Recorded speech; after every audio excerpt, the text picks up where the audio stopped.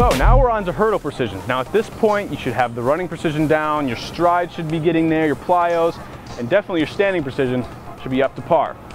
The idea of the hurdle is basically a running precision, except you are hurdling over another object to land on a further one. I'll demonstrate.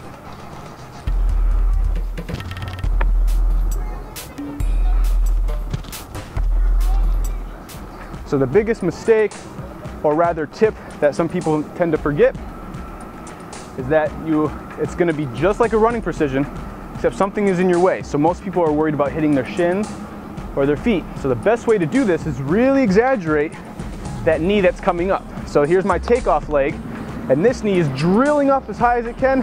Arm just swinging towards my target.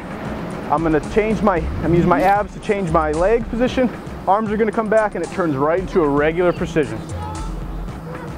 So pay attention to now how I take off. Watch my right leg.